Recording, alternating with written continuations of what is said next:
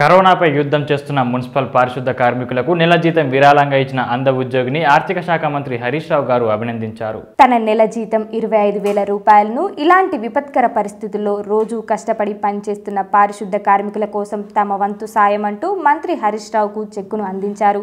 ఈ మేరకు భాగ్య చేసిన పనిని మంత్రి హరీష్ రావు అభినందించి ఆమెకు సెల్యూట్ చేసి హ్యాట్సాప్ చెప్పారు. ఈ కార్యక్రమంలో మున్సిపల్ చైర్మన్ రాజనర్సు ఇతర ప్రజాప్రతినిధులు పాల్గొన్నారు.